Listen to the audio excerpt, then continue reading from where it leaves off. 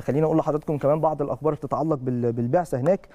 المهندس أحمد مجاهد رئيس اللجنة الثلاثية اللي بتدير الاتحاد المصري لكرة القدم زار بعثة الأهلي في المغرب وكمان يعني نسق معاهم بخصوص بعض لاعبي النادي الأهلي اللي هيكونوا مع المنتخب الأولمبي رباعي النادي الأهلي وهيسافروا إزاي من من هناك في المغرب لطوكيو بعد ما البعثة خلاص وصلت امبارح الصبح هناك اللي بنتمنى لهم كل التوفيق. وكمان أزر الفريق ودعمه وتمنى ليهم كل التوفيق. ده المهندس أحمد مجاهد.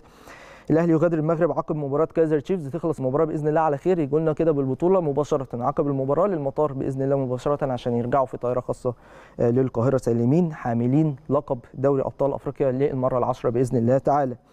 كمان رباعي الأهلي الأولمبي هيغادر المغرب غدا في طريقه اليابان يعني البعثة كلها ترجع إن شاء الله النهارده في الأربعة اللي هيروحوا مع المنتخب الأولمبي اللي هم صلاح محسن والشناوي وطاهر محمد طاهر وأكرم توفيق. دول هيسافروا بكرة الظهر مباشرة من المغرب لطوكيو وإن شاء الله يوصلوا بالسلامة ويعملوا كمان أداء رائع مع منتخبنا الوطني الأولمبي ويفرحونا هم كمان بإذن الله تعالى.